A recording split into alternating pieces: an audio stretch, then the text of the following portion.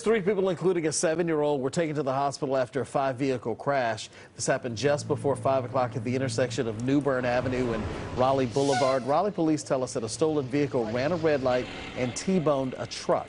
The suspect in the stolen car is in custody.